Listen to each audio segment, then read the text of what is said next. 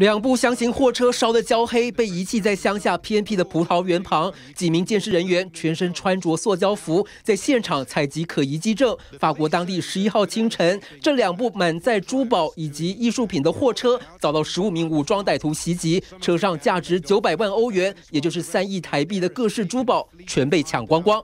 As they say here in France, it was un grand braquage, a spectacular heist, and the police are still gathering information, hunting for clues, and speaking to witnesses. 抢案发生在连接巴黎和里昂的高速公路上，一个名为阿瓦隆的城镇。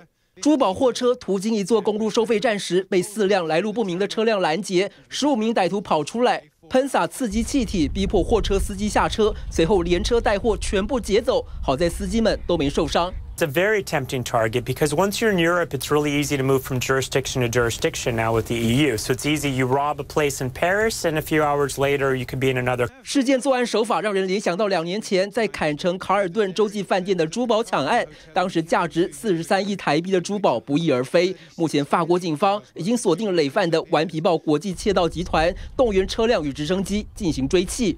记者吴现昌报道。